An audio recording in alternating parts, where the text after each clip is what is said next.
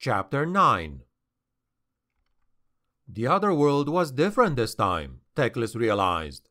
He was not seeing the same things at all. Maybe it was because he had increased the diameter of the weave of his protective spells. But, he suspected, it was the presence of that axe. The more time he spent in its presence, the more he realized how powerful it was. More than that, now that Gotrek Gurnisson was in the ambit of his magic, he could sense the strong magical link between the dwarf and the weapon. He had heard of such phenomena before, but this was the first time he had seen it acted out so powerfully. Over time, psychic links could be formed between any magical device and the person wielding it. Such was an inevitable byproduct of magical forces. But this was something more. Power flowed down those links into the dwarf. Power subtle enough to change even a creature so resistant to magic as a dwarf. And powerful enough to hold at bay the currents of chaos right here. He would have given a lot to know the history and provenance of the weapon. But he doubted that the dwarf would ever share it with him. If the slayer was daunted by the bizarre nature of their surroundings, he gave no sign. Teclis wondered if they were even seeing the same thing. At a moment, they floated within a bubble of clear air, hemmed in by the boundaries of his spell. Outside, the magical currents of the paths of the old ones flowed. Teclis sensed the inhabitants out there. Some were neutral spirits, elementals, and other creatures who could feed on the direct flows of magic. Most were actively inimical, creatures of chaos who had entered the pathways and had been trapped there. Or maybe they chose to live there. There were the resonances of other things, older things, spirits that had been hostile to chaos, who had, perhaps, been set there as guardians by the old ones themselves, but who had been swamped and submerged and perhaps corrupted a long time ago. Once again he felt the fascination of a scholar. There was so much to learn and so little time to do it, even in the lifespan of an elven prince. There was material for a hundred studies contained within this one place, if only he survived to write about it. He fought to bring his thoughts back to the task at hand. First, he needed to find a human, and then he needed to return to his quest. Had he not felt such a strong intuition about the dwarf and the weapon, he doubted he would have offered to help. Yet some instinct told him that this was the right thing to do. You did not just encounter the wielder of a magical weapon so powerful by chance. Their destinies had touched and intertwined at this point, of that he was certain. One thing had not changed, though the great tidal swirl of energy still moved to and fro through the twisted paths, pushing the bubbles of reality hither and yon. He readied out the divination spell again, and sensed the human's pain and fear. If they didn't reach him soon, it would be too late to do anything. He urged the sphere onwards through the ether, hoping that by sheer force of will he could get there in time. Felix watched as another demon came closer. He threw himself forward against the chains, knowing already it was useless. They were strong enough to resist even Gotrek's massive strength. His sword lay just out of reach, positioned there just to add to his torment and his hopelessness. The demon leaned closer. He could see that its eyes were not like a human's. At first they appeared like pits of pure flame, but if you looked into them, you could see that a malign intelligence dwelt there. Instead of pupils, small flames danced in the ember pits that filled its sockets. Sentient flames, flames of pure evil. The demon laughed, and the sound was chilling even in this heat. It was the laugh of a creature to whom the most unspeakable cruelty was the most natural of things, who found pleasure in the pain and fear of others, that somehow fed on them as an epicure might feast on a pickled lark's tongues. Its mouth opened wider, and he could see the yellow teeth and the long, snaky, bifurcated tongue. It leaned forward, and he could feel the heat radiating from it. The thing emanated it like a furnace. The tongue snaked forward and licked its face. This is not real, Felix thought. This is just a horrible dream. But he knew it was not. The demon knew it as well. You are mine, it said. By change, you should not have come here. It was not my idea, he said. The creature backhanded him with an open palm. He could see that it had long, talon like nails.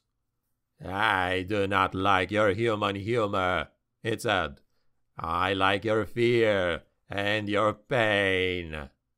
I assume there's not many positions for a jester around here, then, said Felix, because he could think of nothing else. It was a weak joke, but it did annoy the demon, and that was about all he could manage at this moment. The thing moved eye-blurringly swiftly again. His head smacked against the warm rocks. Small stars danced before his eyes. Pain blurred his vision. Felix lashed out with his foot, but a heavy chain slowed him, and the thing danced aside easily. I like it when my food struggles, it said, in the kind of voice a cat might use on a mouse, if it were capable of speech.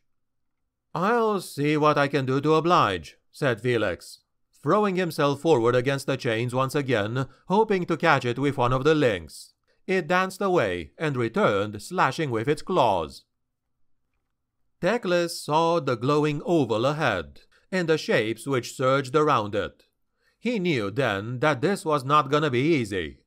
The man had been sucked into one of the reality bubbles floating through the paths. Maybe even one constructed by his own thoughts and fears. He was trapped inside it, and there were demons all around it. A few had entered already to feed. Teclis had no idea what was awaiting them within it, but he knew that in order to rescue the human, they were going to have to go in.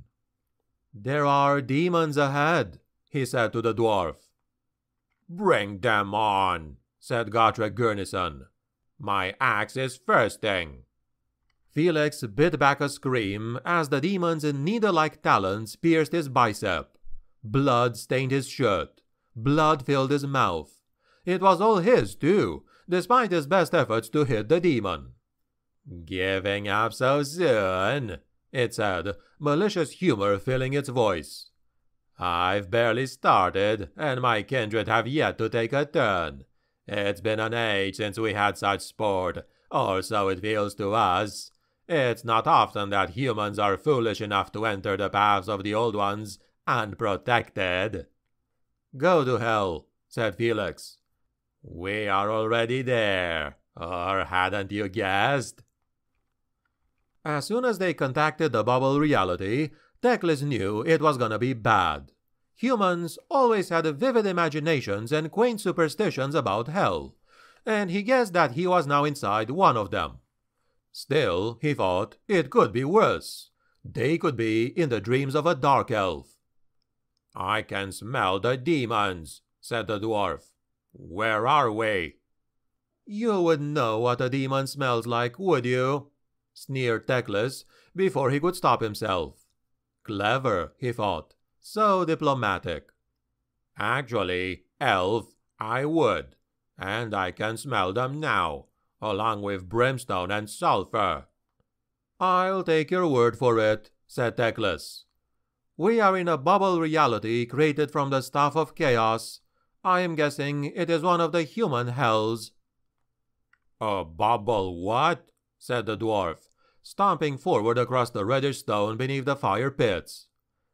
Never mind. I think we have found what we came for. A smiling demonic figure looked up and said, Ah, good. More food. Teclis smiled back at it. The demon's face froze, and he looked closer at what he was seeing, and then the smile vanished completely from his face. Swiftly, Teclis wove a low-level spell of interference, which would prevent any of the creature's kindred from coming to its aid, at least for a while. He cast spells of inhibition over the area to restrict the creature's powers.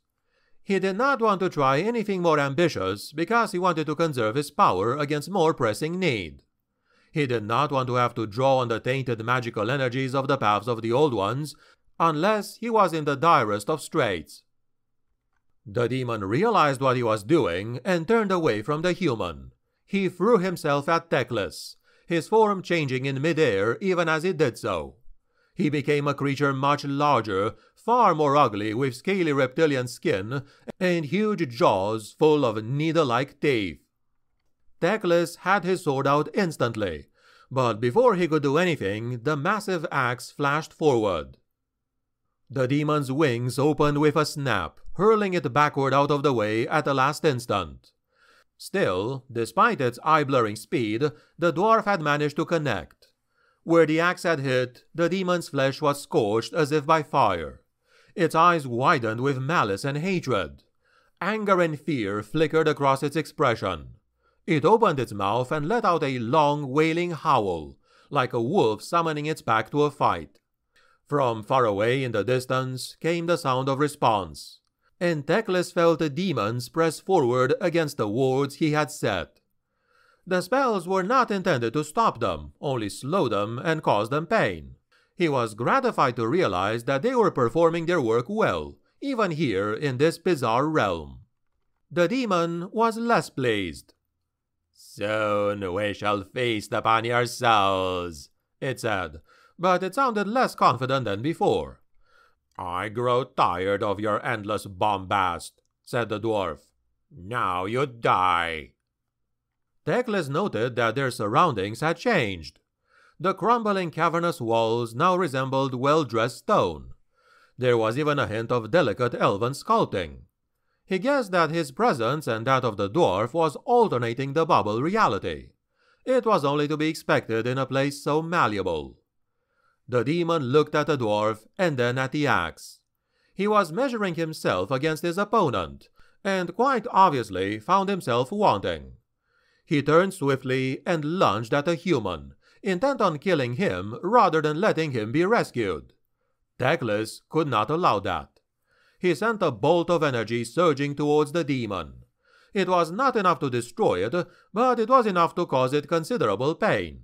Using the lightning as a whip, he drove the creature away from its prey. It disappeared, howling into the stone corridors. It will be back, Teclis said, and it will bring friends. I care not, said the dwarf, moving over to the human. The axe flashed. The chain snapped, and the man slumped forward, but recovered himself so that he did not fall. One moment later, he reached down and picked up his sword. As soon as that was in his fist, he stood taller and straighter, and seemed ready for action. I am grateful for the rescue, he said. Have you found an ally, or is this another demon of this foul place? Worse than that, Manling, said Gotrek Gurnisson. It's an elf. Teclis ignored the jibe. He had other things to do. The demons were coming closer, pushing into this bubble reality in search of their prey. They were in sufficient number that he doubted that even he and the dwarf could stand against them, at least not in this place, and the demons were trying a new strategy. Rather than trying to painfully push through the wards, they were collapsing the bubble reality, breaking its edges, allowing the magical energies to sweep in and sweep away the spell, like the tide overcoming a child's sandcastle on a beach. Elf or demon, you have my gratitude, sir, said the human. They exchanged names and introductions. You are very welcome, but now we must go, said Teclis. The dwarf glared at him. Teclis felt that given the Slayer's vocation, it would not be the best of things to inform him that an overwhelming horde of demons was about to descend upon them he decided to tell the lesser, but still worrying enough, truth. This bubble reality is about to collapse, and a tide of wild magical energy flow inside. I doubt this is the kind of doom you seek, Slayer. It would be a rather pointless death. The dwarf nodded. Teclis gathered his magical energies around him once again, cloaking himself and the dwarf and the human. Heartbeats later, the bubble did indeed give way. He could feel the tide of magical energy smashing through the delicate waves. One moment later, the walls glowed and vanished, and they were back in the seething sea of magical energy. this was not a good place to attempt to fight the demons. It was their natural home, and their senses were far more attuned to such a place than any mortal beings, even his own. He thought that maybe he could impose his will on a bubble reality and create a place more suited to himself and his companions. But that would be a futile strategy in the end. He would have to maintain it against the combined efforts of the demonic horde to tear it down, and en masse they would prove stronger than he, at least in this space and time. What they needed more than anything at the moment was to get out of here, and there was only one way to do that. He let the protective sphere of enchantments rush free into the currents. It hurtled forward like an inflated wine bladder thrown into a stream. He wove his most powerful and painful protective enchantments around its edges and bound them as tight as he could. He applied the force of his will to send them hurtling ever faster down the energy stream in the direction he wanted to go. For a moment, they tumbled onwards faster and faster, and he thought they might outdistance the horde pursuing them. But then, like a shark scenting blood, the demons set off in pursuit. Teclis sensed them drawing closer. The runes on the dwarf's axe grew brighter. The human's face seemed strained, which, given the circumstances they had just rescued him from, was hardly surprising. They might all find themselves in similar circumstances soon, if he did not find a way out of here. Or they might find their flesh rent asunder and their souls the food of demons. Felix looked out beyond the confines of the strange shimmering spell sphere in which they floated and wondered if anything he was seeing was real. His experience with the demon had left him doubting the evidence of his senses. Had Gotrek and the elf really shown up and rescued him? Or was this all some kind of subtle torment dreamed up by the Hellspawn? At any moment was he likely to find himself back in that evil smelling dungeon, in the clutches of that nightmarish creature? His heart beat faster, and his palms grew sweatier at the mere prospect of it. For a moment he felt as if his sanity might be overthrown by this hideous prospect. He felt a teeter on the edge of a vast abyss. What if he really was dead, and this was really some kind of hell? Slowly, one step at a time, he stepped back from the edge. If this was a hell, it was a peculiar one indeed and he doubted that even the imagination of a demon would extend so far as to having Gotrek arrive in the company of an elf. That was stretching probability entirely too far. To distract himself from his uncertain thoughts, he concentrated on his companions. The Slayer looked deeply, deeply unhappy. He glared daggers at the elf, and then at Felix, and muttered to himself in Dwarfish. Felix wondered what he had done to deserve such a look, but slowly it dawned upon him that the elf was a wizard, and Gotrek must have made some pact with him in order to win Felix's freedom. He could easily imagine that such a debt of honor was not the kind of obligation the dwarf cared to be under. But who was this stranger, and where had he come from? It seemed unlikely that he was just a wanderer through these extra-dimensional passages. Felix studied the elf. Never before did he have the opportunity to study one of them at such a close range although he had seen several of them in the streets of Altdorf in his youth. Teclis was taller than a man, and much thinner. Indeed, he was quite feeble looking, more so than any elf Felix had ever seen. He was extremely thin, and his flesh seemed almost translucent. His hands had long, extremely thin and fine fingers. His face was narrow, and whatever physical weakness he might suffer from was not reflected there. It was a face that should have belonged to a fallen god, sculpted by centuries of pain. The almond shaped eyes were clear and cold and cruel. The thin lips were curved in a malicious smile. Felix could understand why the dwarves were so prejudiced against the elves if they all looked like that. He seemed to be looking out on the world with a constant sneer, judging everything by the high standards of his race and finding all of it unworthy. Be careful, Felix told himself.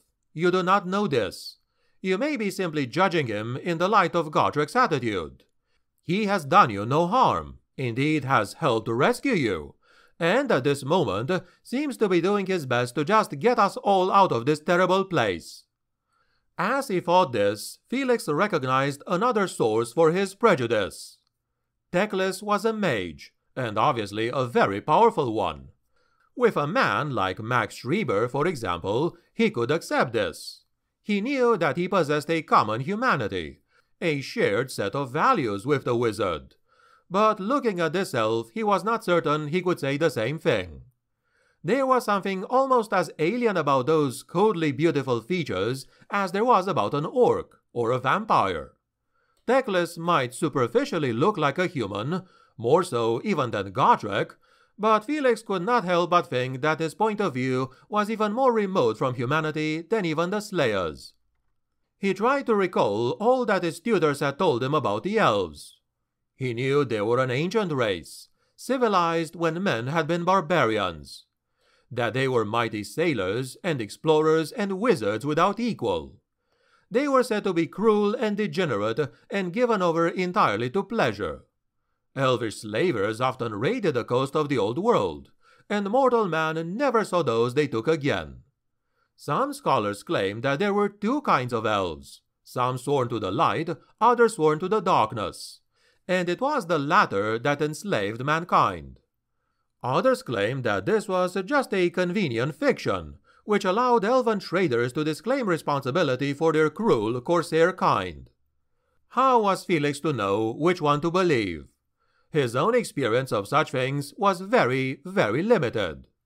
Some said they were immortal, others only that they were very long lived. This elvish wizard might be the very same Teclis who had fought against the last great Chaos invasion during the time of Magnus the Pious, over two centuries ago. Was that possible? More likely he was only named after that mighty wizard. Felix shook his head. Looking at that smooth, ancient, and ageless face, he could believe that this was the same mage. Maybe if they got out of here, he would ask him. And then the implications of that thought struck him. Was it possible that he had been rescued from demons by a hero of ancient legend? A being whose name he had only read about in books? Did such legends still walk the earth in the light of day? Suddenly he heard a wizard say, Beware, danger is near. Chapter 10 Felix saw the shifting currents of the alien space around them changing again. Hideous faces were pressing against the outside of the sphere. Some of them resembled people he had once known, people like Ulrika, Max, Snorri, Albrecht, and many others. But their faces were hideously changed, fanged and malevolent. Some of them were like his father and brothers, and others were completely unrecognizable, although all of them shared the same eerie and evil appearance. Some had the faces of dwarfish women and children, as well as males. Some even bore the distinct family resemblance to the slayer. Others were elven, beautiful and deadly looking. There were handsome elf males and beautiful females, and a towering figure in a black rune-encrusted armor. He heard his companions gasp as if they recognized some of the visages as well. Gotrek spat a curse and aimed his axe at the edge of the sphere. It passed through and bit into one of the laughing faces.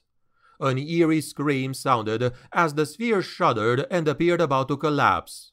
The elf let out a pained gasp and said, Do not do that. If you break the sphere, we will all drown in this vile stuff. It is the only thing that protects us at this moment.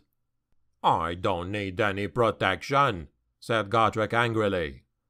Do not be so sure, dwarf, said the elf, and there was an edge in that musical voice that was not there before. Even that axe can only protect you for so long in these mystical currents. Soon you would become like them, lost souls, demons, a dishonor to your clan. The elf added the last one as an afterthought, but Felix saw he saw the subtle barb there. Gotrek grimaced. I am already a dishonor to my clan. Then you will have no chance of redemption, only a chance to deepen their dishonor. Elven though he might be, the wizard obviously knew something about dwarves. Gotrek fell silent, save for the occasional muttered curse.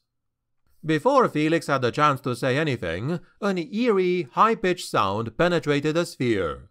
It was a sound such as a soul in rapture might make, calm, peaceful, and wonderful. It promised everything your heart might desire. Peace, if you were weary of struggle. Happiness, if you were tired of melancholy. Outright joy even seemed possible now and forever. At first, it seemed ludicrous that those faces should try to sing such a song, and he realized that this was just some subtle spell, used by the demons to try and ensnare him. It was a pathetic trick, an obvious lure, and it was as easy to ignore as it was to see through. And then he looked closer, and he could see that the faces had altered. They were friendlier now, and smiled at him, as one might of a long departed loved one who had just returned. They cannot yet break through my shield unless your companion aids them with the axe, said Teclis. But it is only a matter of time. Pray to your human gods that we can escape before they do that. In this place, none of us have the strength to resist them for long. What did the wizard mean? Felix thought. It was becoming increasingly obvious that the beings out there meant them no harm. They were friendly, welcoming. All that had happened earlier was just a misunderstanding. They were willing to share with them the secret of eternal happiness. All you had to do was to be willing to listen. Part of Felix knew this was simply not true.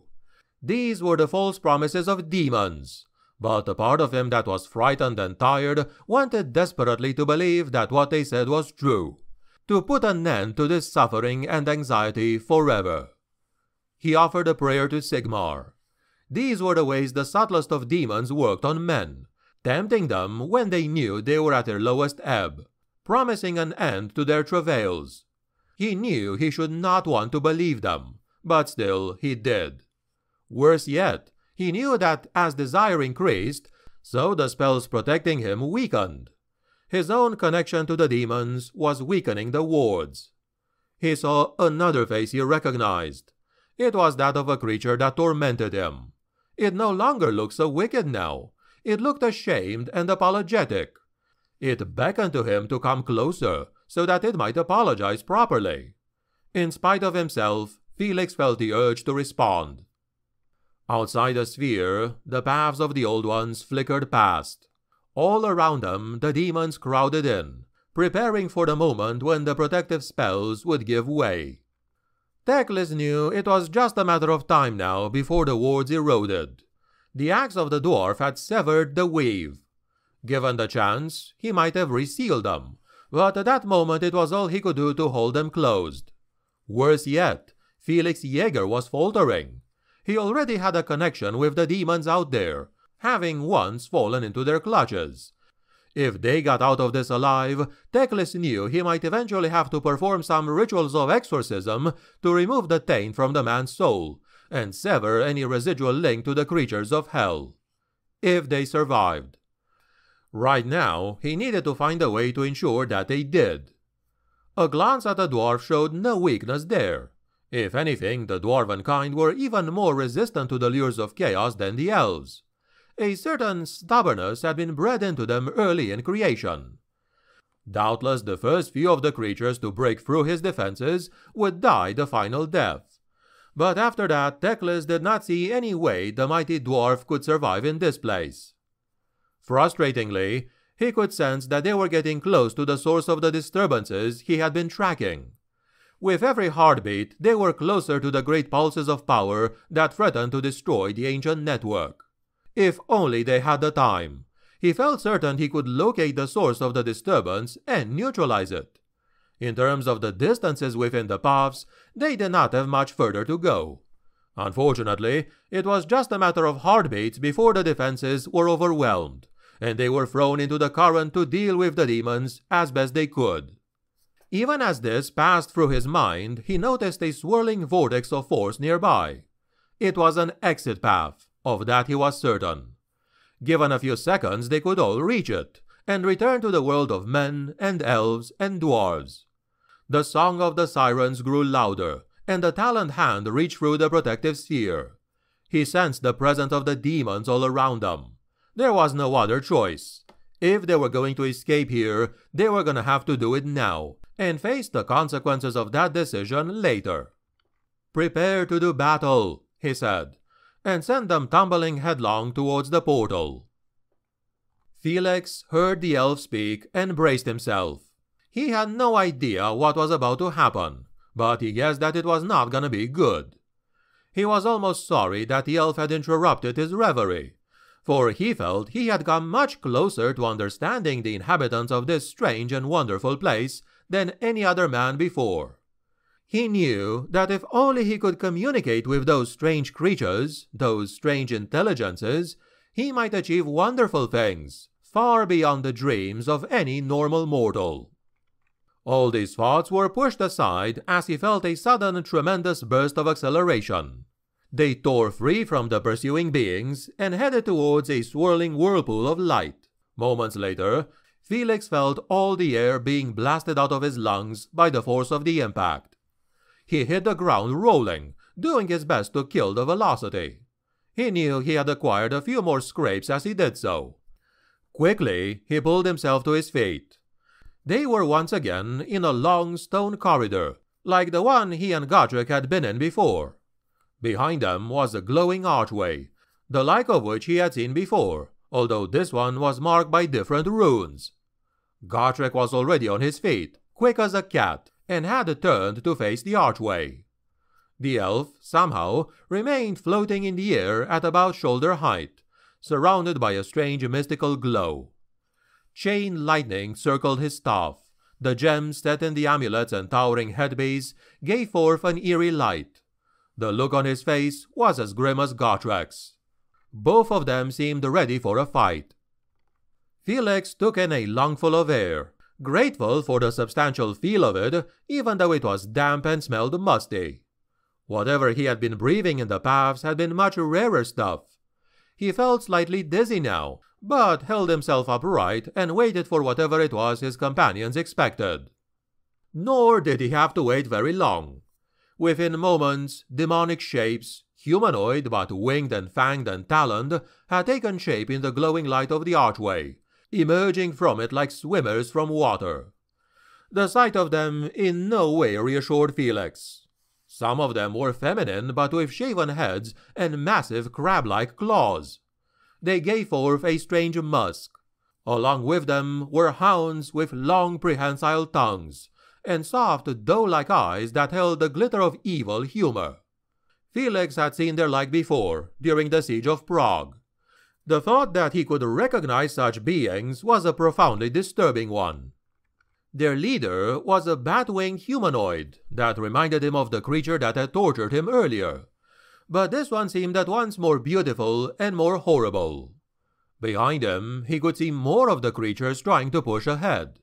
The ruins of the gateway glowed, and ruddy lightning bolts flickered on the surface of the light. The demons and their hounds screamed but kept coming.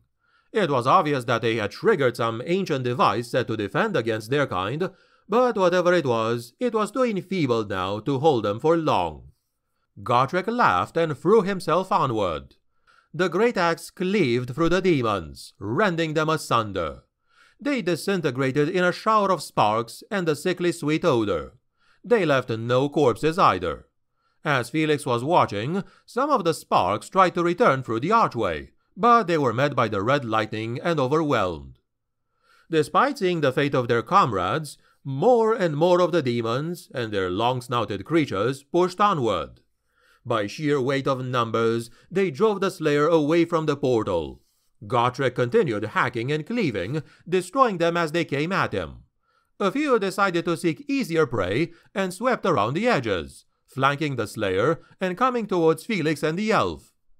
Felix met the first of the demon women head on. She aimed a claw at his head. The huge lobster-like pincer looked as if it could snap his neck in two like a twig. He ducked underneath it, aiming a blow upward and taking her through the throat. She disappeared into a cloud of sparks, leaving only the peculiar musky perfume behind. Felix had fought these monsters before, And, surprisingly, they had seemed much tougher then.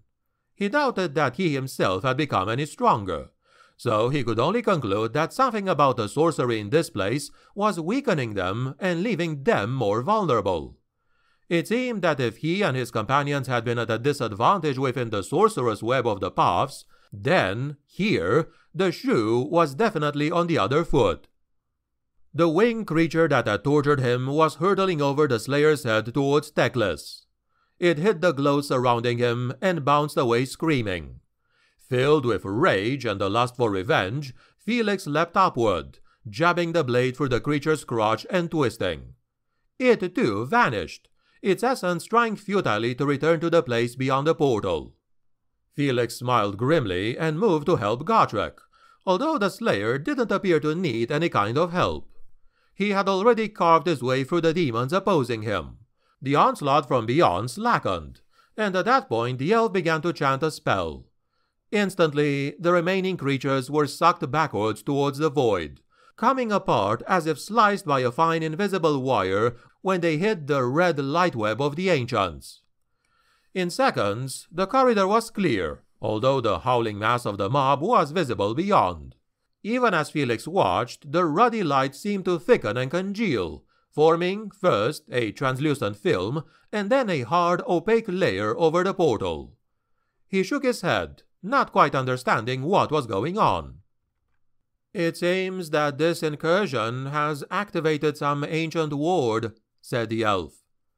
Unfortunately, it will prevent us from using this portal again ourselves for quite some time, although I doubt that using it would be a good idea. Doubtless the demons are waiting beyond, hoping we are foolish enough to stumble back through and allow them to take revenge. Gotrek sucked his teeth loudly, but said nothing. The presence of the elf was something of a strain for him. He was looking as if he would like nothing more than to take the axe and start hewing at the elf. Felix was glad that he restrained himself. It was obvious that they owed a debt of honor to the wizard. Where are we? What is this place? How do we get out? he asked. We are within an artifact of the old ones, and this is not the time or place to discuss it. As to how we get out, follow me. If you please, Sir Dwarf, the elf added with exaggerated politeness. Gotrek's fingers tightened around the haft of the axe. Felix could even see the knuckles whitening. A sensible man would have fled at that point, but the elf seemed oblivious. Felix was wondering whether his own nerves could stand the strain of this for much longer. He fell into step behind the elf and considered his words.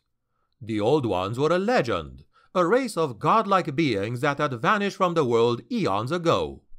Some scholars claimed that they were the fathers of the present gods, banished by their rebellious children. Others wrote that they had brought some cosmic doom upon themselves and fled. Most ancient tomes said nothing about them at all. Only the vaguest of hints could be found even in the most ancient texts. In spite of this, the elf seemed certain that what he said was true, and he, of all people, ought to know. Felix paid more attention to his surroundings now, looking for clues about the beings that had made these things. The stonework was rough hewn, but marked by the glyphs of some odd reptilian design. Felix wasn't quite certain how he got that impression, but get it he did. Maybe they were mere decoration. Maybe they were protective wards. How could he tell? Max Schreiber, on the other hand, would have doubtless had a theory of some kind, he thought. Why was he never around when they needed him? Suddenly, a thought struck him. These corridors were obviously a link between the real world and the odd world beyond the portal. An antechamber, he said aloud. A good guess, Felix Jaeger, said the elf. Yes, Doubtless this place was a bridge between our world and the place through which these paths run. It is neither here nor there, caught between two worlds. And that would mean that at the far end of the corridor, we will find our way back into our world, said Felix. I most certainly hope so, said Teclis. Otherwise, we may well be stuck in here forever. Entombed forever with an elf? muttered Gotrek. Truly, this is the gateway to hell.